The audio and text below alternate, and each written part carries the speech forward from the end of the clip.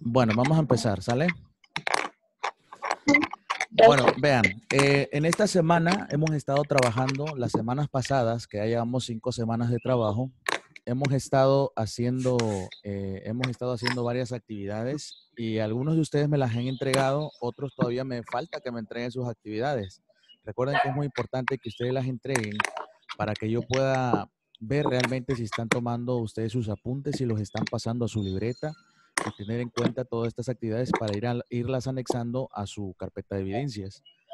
Entonces, vean, eh, en estas semanas vimos lo que era la constitución. Recuerden, recuerden ustedes que todo lo que hemos venido haciendo, ¿vale? Todo lo que hemos venido haciendo es una forma eh, digamos a llamarla así, es una forma teórica de aprender la robótica, porque si ustedes recuerdan, nos quedamos haciendo nuestras últimas prácticas y vino esto del virus y pues prácticamente ya no, no pudimos hacer eh, pues nada, ¿no? Ya no pudimos terminar la rueda de la fortuna que estábamos haciendo. ¿Sí se acuerdan de esa rueda?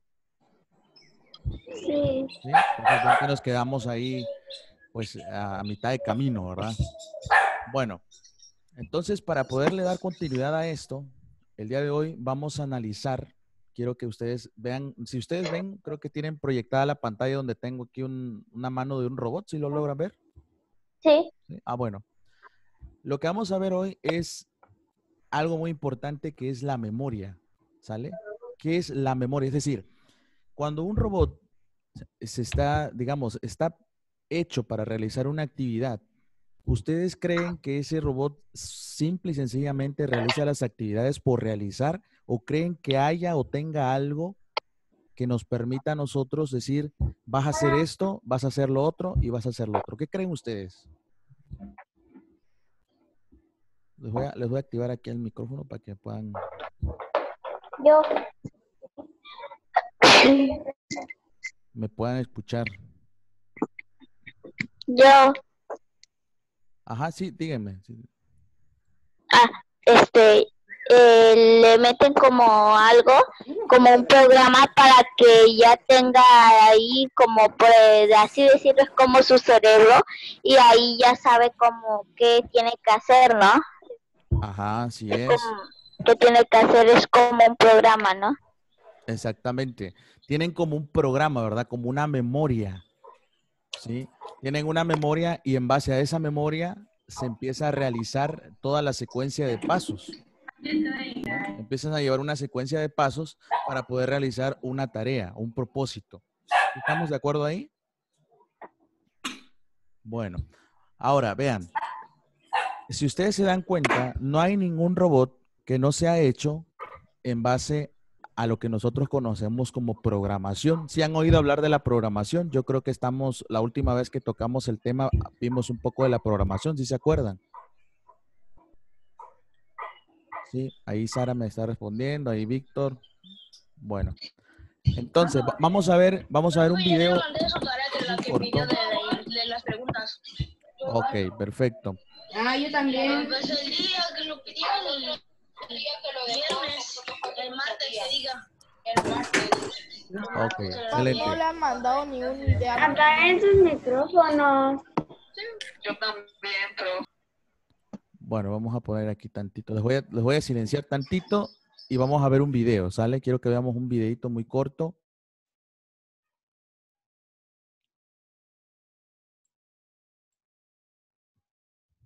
Bueno, digan, nada más muévame con la cabeza, díganme sí, si están escuchando el audio. Ok.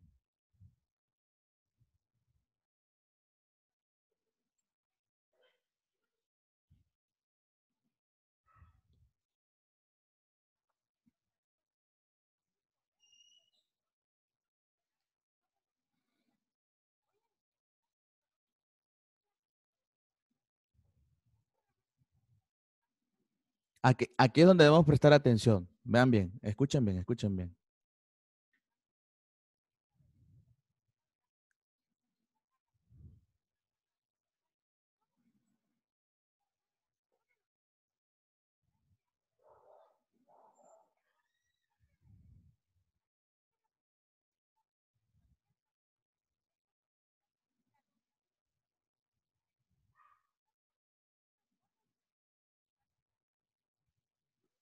Profe, No podemos ver nada. ¿Cómo? No, no estamos viendo nada. No hay nada. No, no hay nada. Profe, yo no escucho nada y ni veo la pantalla del video. Bueno, Yo ver. tampoco. Yo tampoco, ya la veo. ¿Ahí? Ahora ¿Allá? Ok. Va de nuevo, entonces.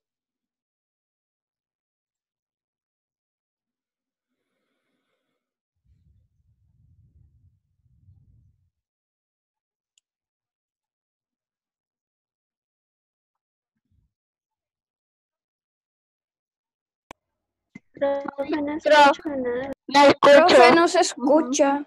Escucha. Profe, no se escucha. No se escucha. Bueno, déjenme ver aquí nada más.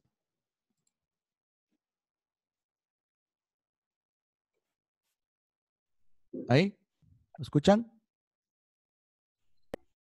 No escucho. Hola, profe. Hola, hola. A ver, vamos a ver aquí. Escucho.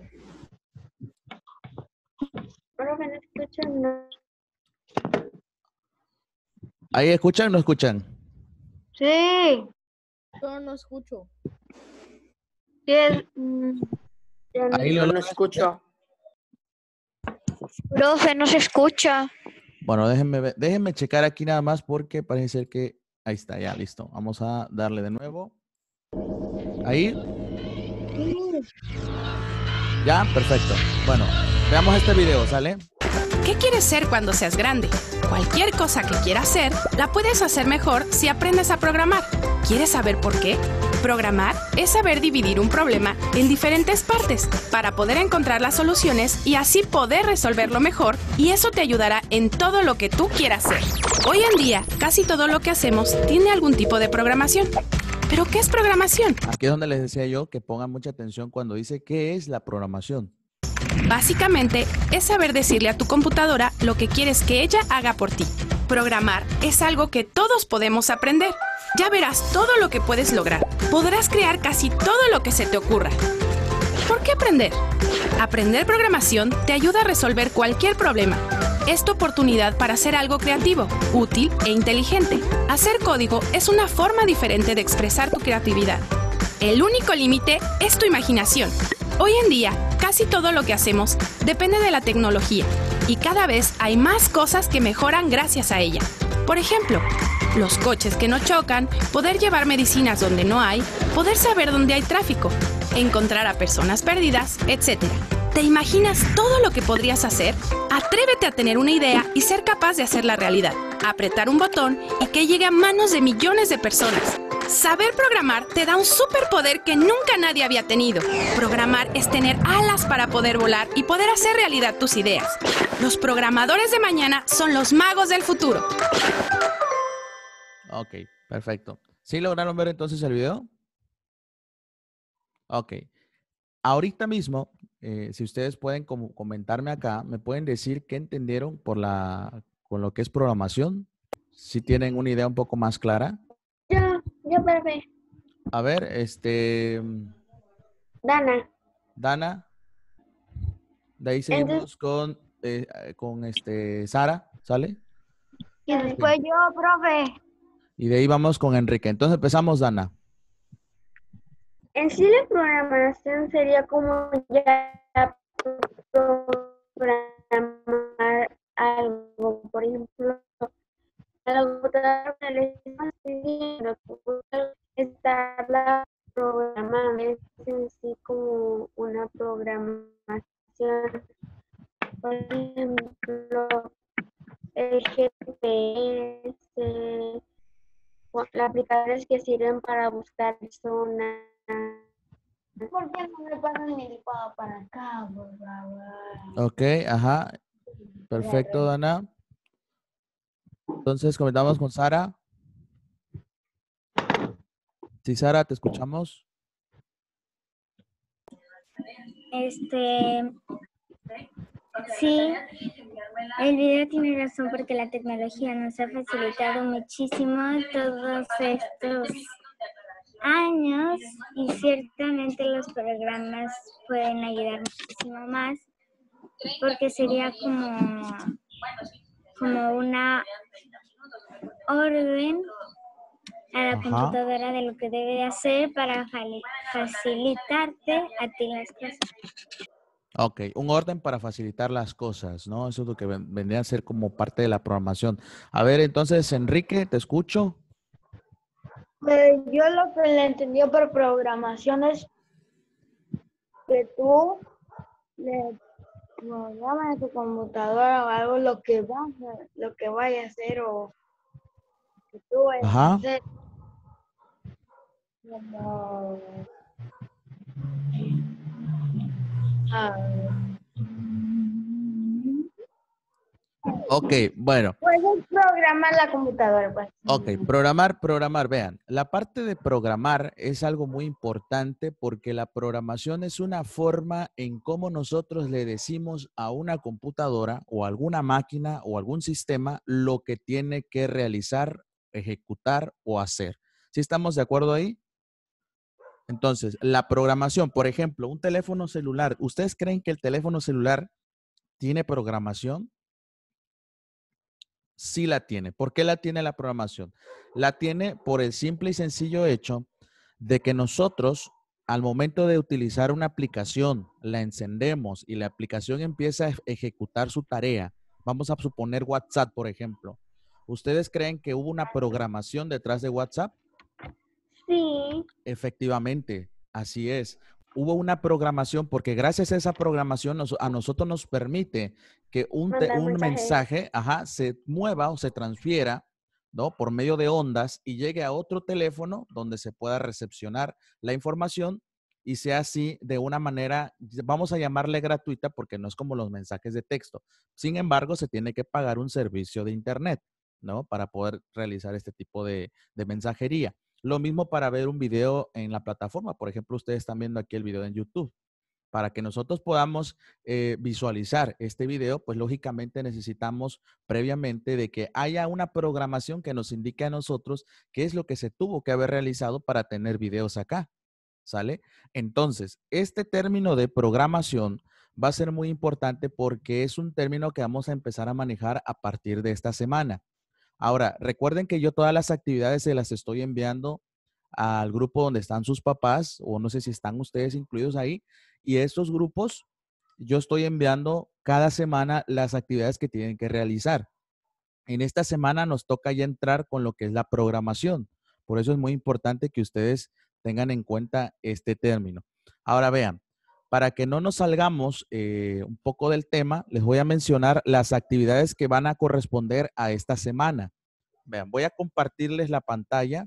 Voy a ponerles aquí la pantalla del... Ok, aquí está. Vamos a compartir. Nada más díganme si lo pueden ver.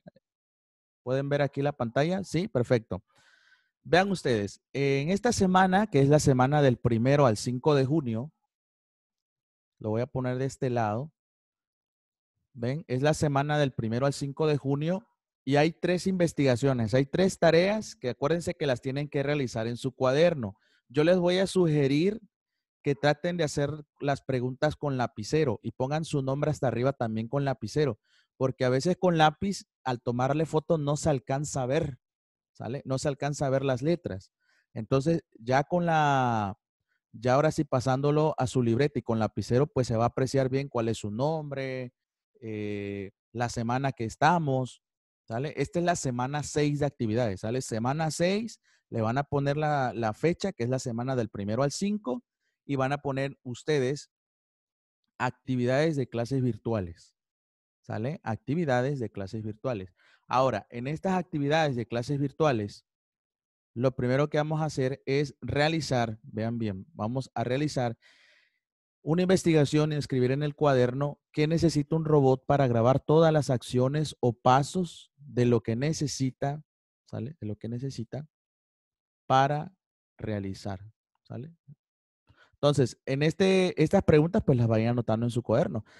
Si ustedes se dan cuenta, ya con esto vimos, ¿sale? Vimos qué es lo que, lo que necesita ese robot para grabar esos pasos, ¿sale? Es lo que estuvimos comentando. ¿Qué necesita? Esa es la primera, primera pregunta que van ustedes a resolver. La segunda, investiga y escribe en el cuaderno qué es la programación y por qué es importante en un robot. ¿Sale? ¿Qué es lo que comentábamos? ¿Sí? Em, profe, una pregunta. ¿En Sí. qué semana estamos de la clase de robótica? Estamos en la semana 6. Esta ya es la semana 6. Si ven ustedes hasta acá arriba, dice quinto primaria, sexta semana. ¿Sale? Quinto primaria, sexta semana. Si ustedes tienen alguna tarea que no me han enviado, recuerden que me la pueden enviar, no pasa nada, me las pueden ir enviando poco a poco. Vayan avanzando a su ritmo. Pero sí es importante que las tengan todas para que yo las vaya calificando, las vaya revisando y si hay una observación, yo se las vaya comentando. ¿Sí estamos de acuerdo ahí? Sí, profe, yo sé que Ok. Ahora, tercera pregunta, parte de nuestra tercera investigación. ¿Creen que todos los equipos que tienes en tu casa usan memoria? Esa es la pregunta. ¿Creen ustedes que hay algún equipo que use la memoria? ¿Creen ustedes que la lavadora tendrá alguna memoria? ¿Cómo será esa memoria de la lavadora? Eh, la licuadora, por ejemplo, ¿tendrá memoria la licuadora? ¿Tendrá alguna memoria Mm. las bocinas? ¿Tendrán memoria las bocinas? O Yo sea- digo que, Ajá. que, digamos, sobre la licuadora y la lavadora, yo que yo sepa, no creo que tengan memoria, pero si tuvieran memorias, por ejemplo, ah, la vez pasada mi dueña me puso velocidad 3, por ejemplo. Ajá. Esa velocidad, por ejemplo, cuando enciende la, la lavadora que esté en velocidad 3 como la vez pasada, eso podría ser que tenga memoria, pero yo no creo que tenga memoria, porque que yo sepa, todas las veces se cambia. Y, pero aplicaciones así como YouTube, si dejas una búsqueda y queda marcada como si fuera la memoria. Ajá, así es. Por eso que yo creo que mejor las aplicaciones que, y los celulares sí tienen memorias y los demás equipos como las licuadoras y las lavadoras no creo que tengan. Ok, bueno, esos equipos, por ejemplo, una licuadora, si nosotros le ponemos la velocidad en la última, va a girar, va a estar girando, girando, girando hasta que nosotros le pongamos el- dedo para pararlo, ¿verdad? Entonces no tiene memoria, realmente no hay una memoria. Un ventilador, nosotros le ponemos el, ya sea el número uno, el dos o el tres, pero nosotros tenemos que apagar el ventilador. Entonces, la acción manual la hacemos nosotros, la ejecutamos nosotros, ¿sí? Entonces, ahí nos damos cuenta de que hay ciertos equipos, hay ciertas máquinas que no necesitan memoria. Y la pregunta sería, ¿cómo creen ustedes que sería una licuadora, por ejemplo, con memoria? ¿Qué tendría que ser? Ajá, a ver, Dana. Una licuadora con memoria, por ejemplo, si la vez pasada la dejamos en la última velocidad y la apagamos, la siguiente vez que encendamos la licuadora quede igual en la misma velocidad que quede girando. como el sí. ventilador. Como el ventilador, si la vez pasada lo dejé en la velocidad 2, cuando lo volviera a encender iba a seguir en la velocidad 2. Ok, a ver, este, Sara. Este, yo le quería decir, profe, que yo tengo un ventilador en mi casa que le puedes programar la hora en la que se apaga. O sea, por ejemplo, Ok, ahí te ajá. dice que se apaga en una hora, en dos y así hasta 12 horas. Ok, perfecto. Bueno, en ese caso, ¿crees que tenga memoria el, el ventilador? Pues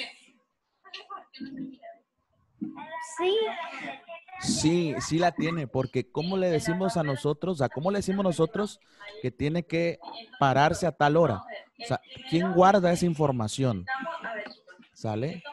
Si nos preguntamos nosotros quién guarda la información, es porque ciertamente el equipo tiene una memoria.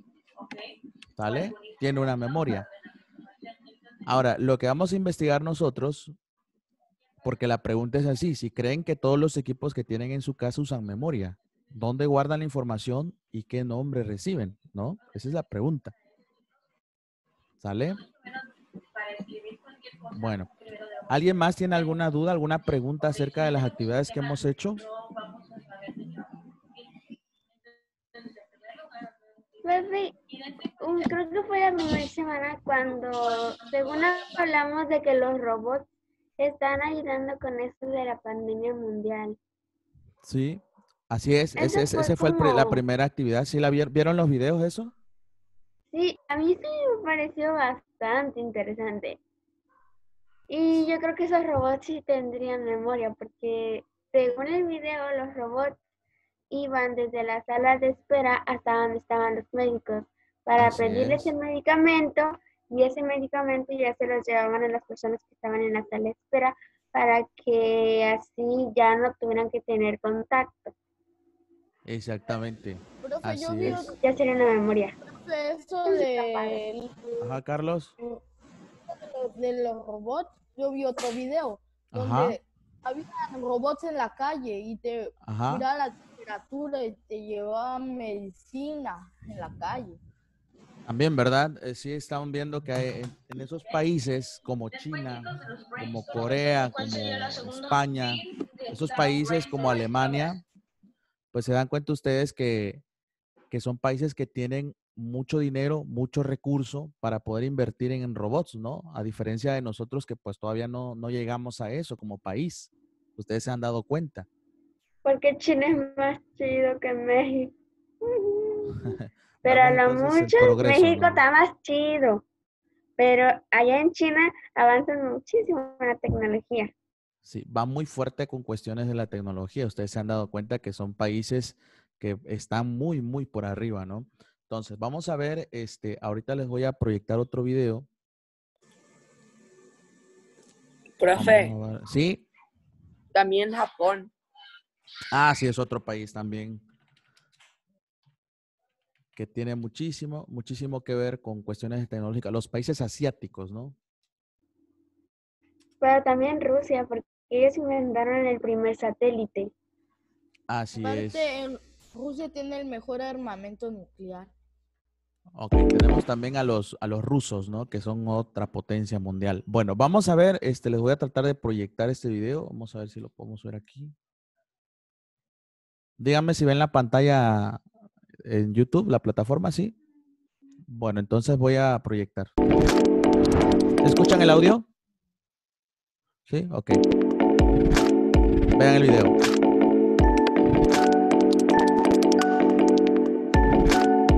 Miren la forma que tiene, ¿eh? como un tanquecito de guerra.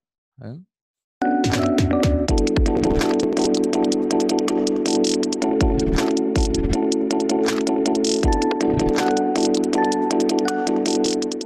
Si ustedes ven aquí, voy a rezar tantito el video.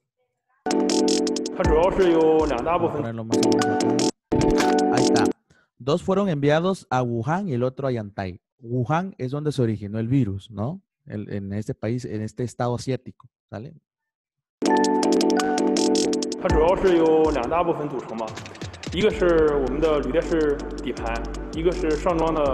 Eh, o sea, aquí, aquí en este recipiente, si dan cuenta ustedes acá, es como un bote. En este bote se guarda el líquido que va a fumigar.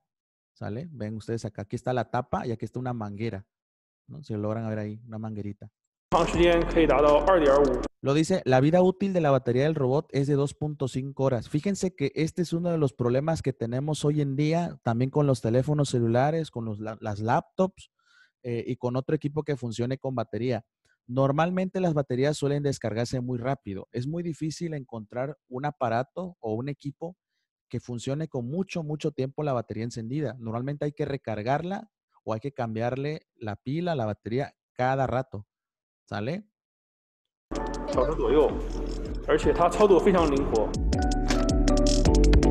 Tiene un tamaño más o menos como de un metro, ¿se dan cuenta? Vean. Bien, hace el trabajo lo mismo que la carga de trabajo de 10 personas por cada hora. Vean, un robot hace el trabajo de 10 personas cada hora.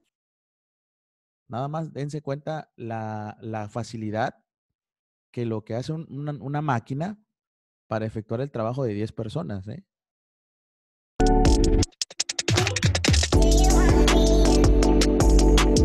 Mata el virus y las bacterias en el aire y suelo.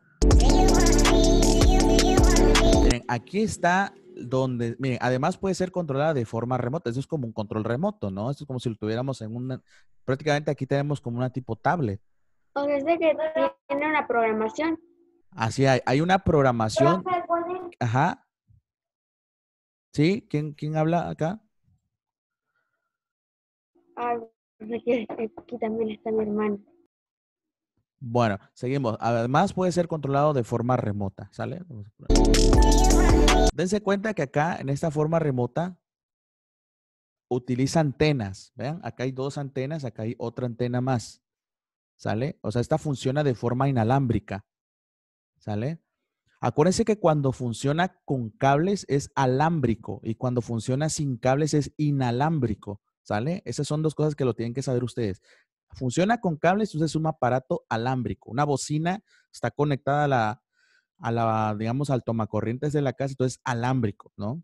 Y si funciona de forma Wi-Fi, forma Bluetooth, es inalámbrica. ¿Vale?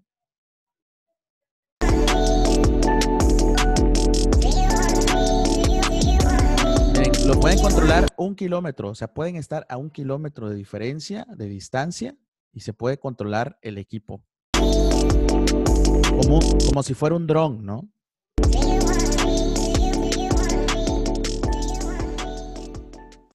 Ok, ahí se dan cuenta ustedes cómo estos países tienen la capacidad para poder desarrollar este tipo de, pues prácticamente de máquinas, de robots, de sistemas para poder realizar estas diversas actividades. Y ustedes pueden ir observando cuánta información hay de lo que hacen. Miren este, este es un dron tipo helicóptero. Y esta es una mano. Si tarda mucho, No, si ustedes reconocen nada más con ver esta parte de acá, las letras, parece alemán, ¿no? si tarda mucho. Es un helicóptero prácticamente. Y dense cuenta que la diferencia entre un dron y un helicóptero es que el helicóptero es tripulado. El dron no necesita tripulación. Por eso tiene forma de helicóptero, pero como no hay tripulación adentro, se le puede llamar dron. ¿Sale?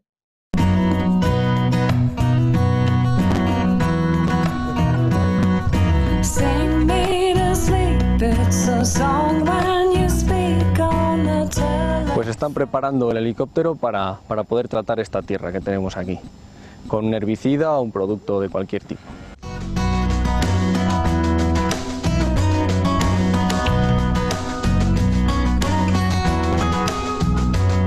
Vean, este, este exclusivamente, este equipo que te- ustedes ven acá, que tiene forma de helicóptero, es exclusivamente para fumigar plantas, ¿sale? Esos son en cultivos. Si esto lo puede hacer para, digamos, fumigar en cultivos, es lógicamente que lo puede hacer para fumigar en cualquier calle, en cualquier lugar, ¿no? Quiero que vean.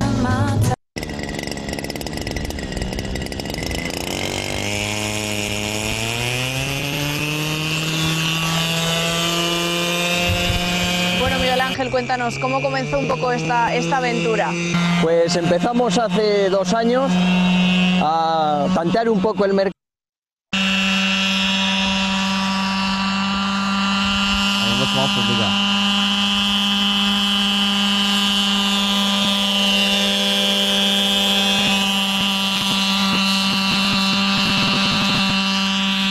Bueno, este de drones la verdad es que desde que empecé con, con Uberbound a trabajar, pero con los helicópteros de radiocontrol llevo desde 2000. Ok, también funciona de manera inalámbrica por radiocontrol o radiofrecuencia, como se les conoce también ese tipo de, de- de máquinas, ¿no? De equipos.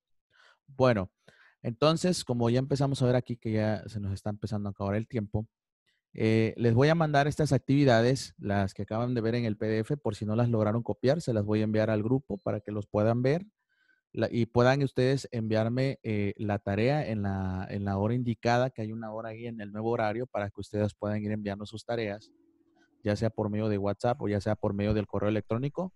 Si ustedes vamos a poner, Tengo una duda. Yo Sí, también dígame. tengo una duda. dígame, dígame.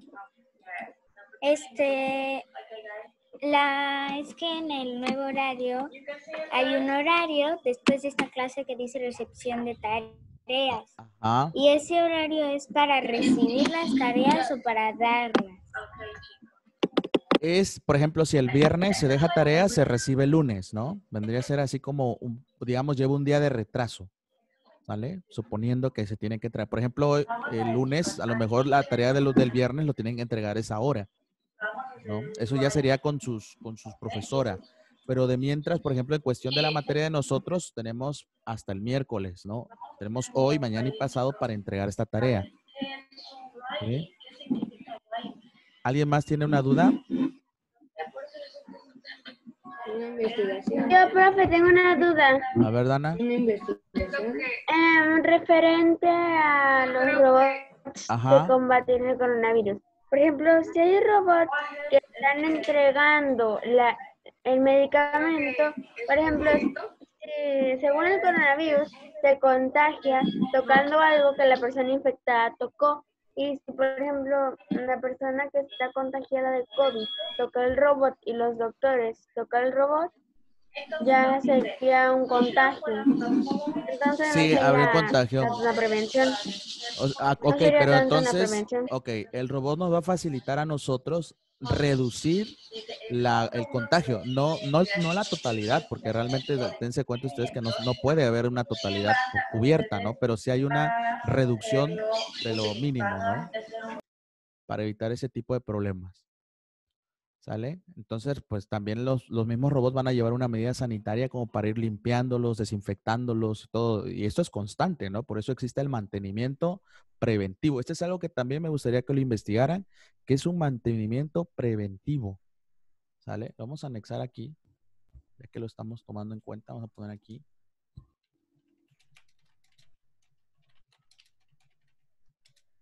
Es un mantenimiento preventivo, para que vean ustedes los tipos de mantenimiento que se les puede dar. ¿Sale? Bueno, estas serían entonces las actividades, chicos. Nos estamos viendo la siguiente semana. ¿Sale? Que tengan un bonito día y los dejo continuar con sus clases. ¿Sale? Bueno, nos vamos. Hasta luego.